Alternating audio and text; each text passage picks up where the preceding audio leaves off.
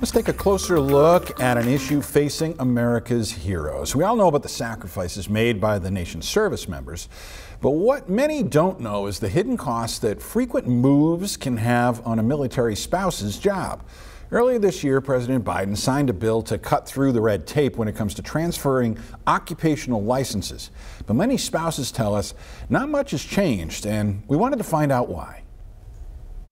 Can you pick four? Michelle Wintering is a speech pathologist, but hasn't been able to work full time because of the nearly impossible task of transferring her license state to state. Some require specific coursework before you can be licensed there.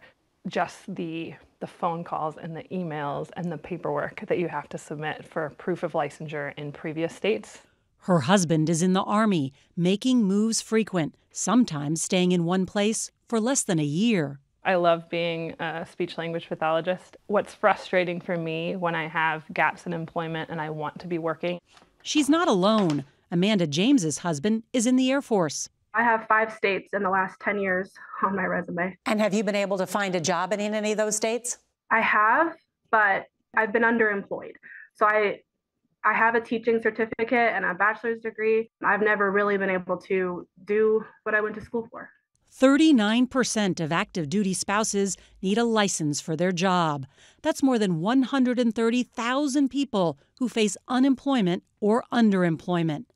The ripple effect qualified service members leave the military early, a national security risk as branches struggle to recruit. What financial impact has this had on your family?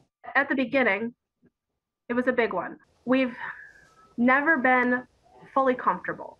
In January, the president signed the Military Licensing Relief Act, intended to force states to accept transfers, but there's no deadline or plan on how to do that.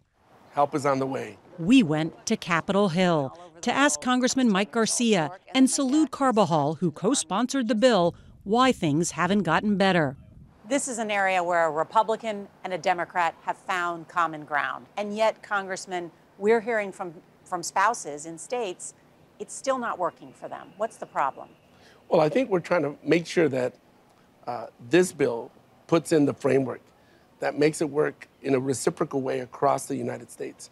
It's still going to require states to work with our DoD uh, to make sure that the program works effectively. And yet, so many spouses say they're still dealing with so much red tape yeah. on the state level.